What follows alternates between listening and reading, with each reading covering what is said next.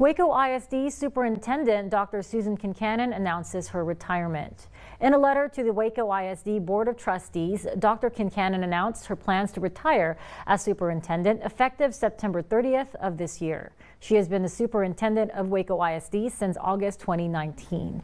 In light of Kincannon's announcement, Waco ISD Board of Trustees has called a special meeting for Tuesday, June 11th to begin the process of hiring the district's next superintendent.